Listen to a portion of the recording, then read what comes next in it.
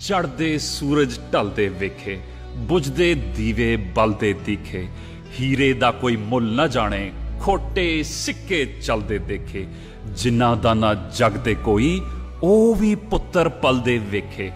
ਉਸ ਦੀ ਰਹਿਮਤ ਦੇ ਨਾਲ ਬੰਦੇ ਪਾਣੀ ਉੱਤੇ ਚਲਦੇ ਵੇਖੇ। ਲੋਕੀ ਕਹਿੰਦੇ, ਦਾਲ ਨਿਗਲਦੀ ਮੈਂ ਤਾਂ ਪੱਥਰ ਗਲਦੇ ਦੇਖੇ। ਜਿਨ੍ਹਾਂ ਨੇ ਕਦਰ ਨਾ ਕੀਤੀ, ਰੱਬ ਦੀ ਹੱਥ ਖਾਲੀ ਉਹ ਮਲਦੇ ਦੇਖੇ।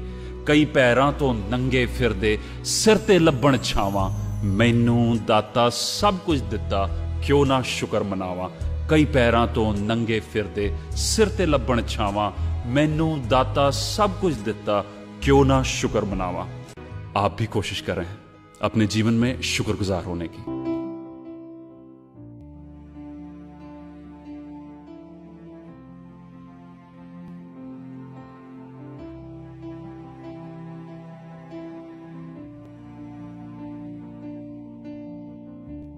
ਹੇਮੰਤ ਸਿੰਘ ਨੇ ਇਹਨਾਂ ਦੀ ਡਰੈਸਿੰਗ ਦੀ ਜ਼ਿੰਮੇਵਾਰੀ ਚੱਕੀ ਹੈ 1 ਮਹੀਨੇ ਲਈ ਨਾ।